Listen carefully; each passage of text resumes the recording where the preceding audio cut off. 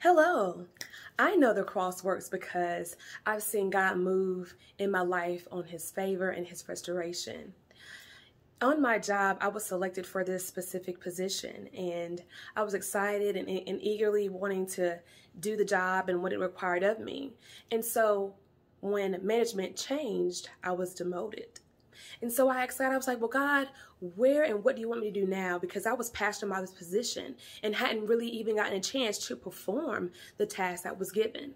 And um, as I prayed to God, I didn't receive an answer. So I took that as Rykka, just stand and, and, and see the salvation of the Lord during this time. So I stood, you know, I wanted to leave, you know, I was kind of mad, you know, and saying, God, why this? Why now? But um, the Lord just told me to stand, Rykka, and I stood for about two years. And after those two years of time, God renewed that position and allowed me to get back into the position with better wages and benefits I could even ask or think. So I know the cross works because of God's favor and restoration.